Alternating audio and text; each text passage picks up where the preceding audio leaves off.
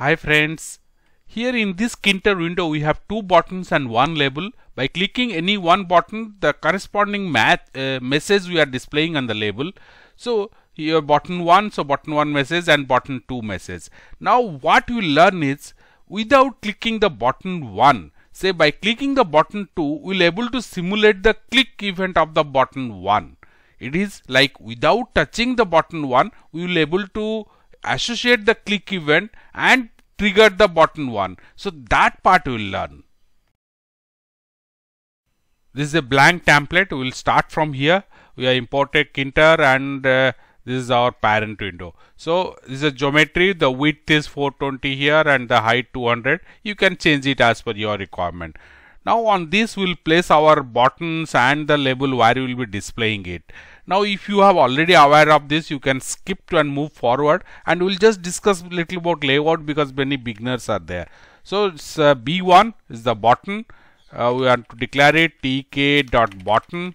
Now what's our parent window? It's my underscore w at line number 2 we have declared.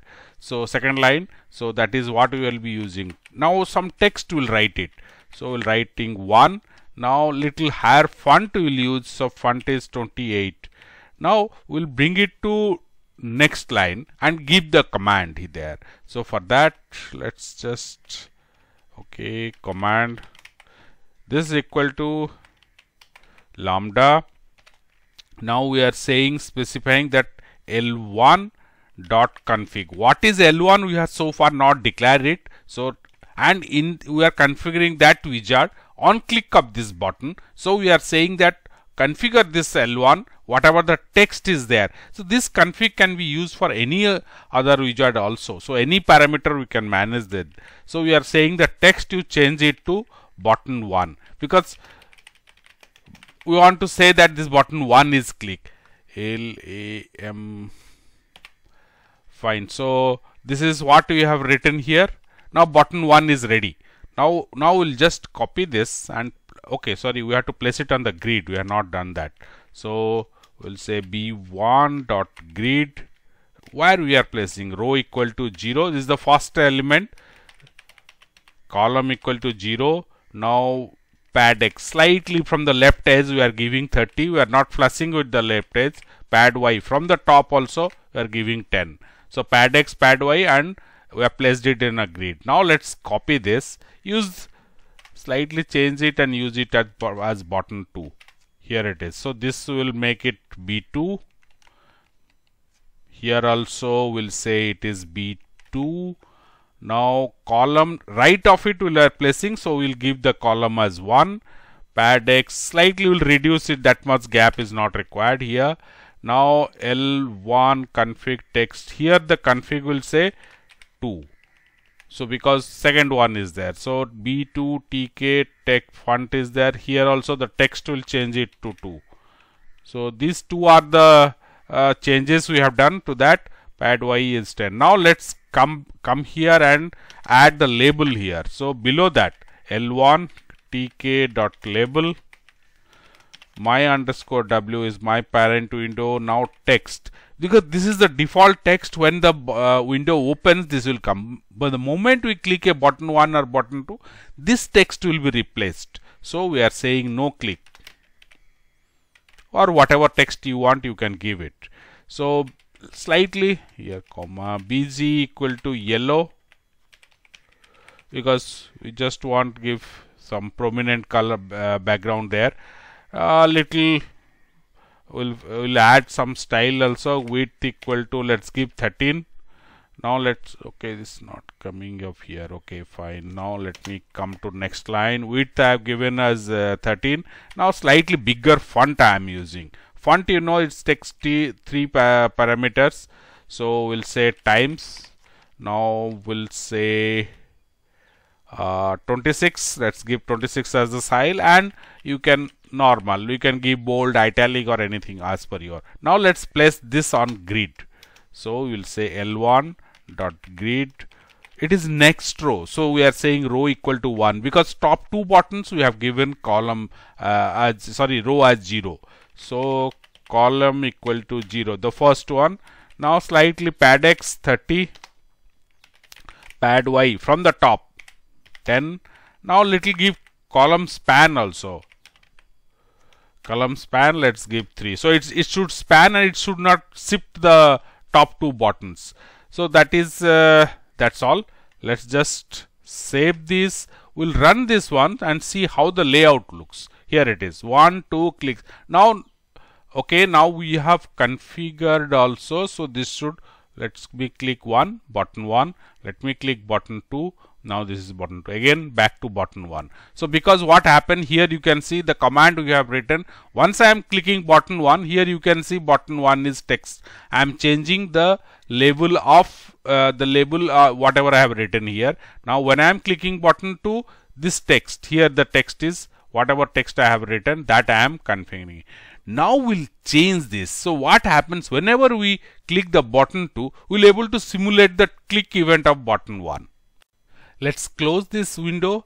Now we can see whenever we open this window again there is no click because we have not clicked any one of the button so by default message is giving.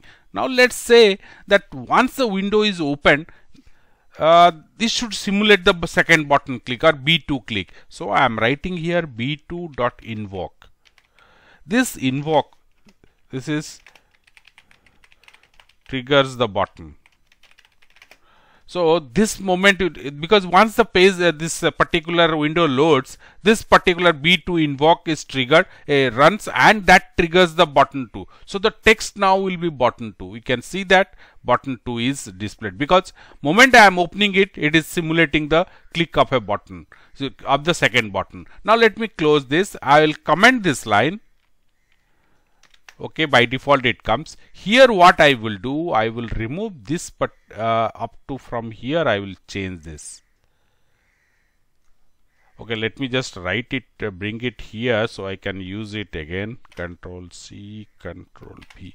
I can just keep this I can just copy here. I removed it. Now what I will do here instead of configuring that up to this I am removing.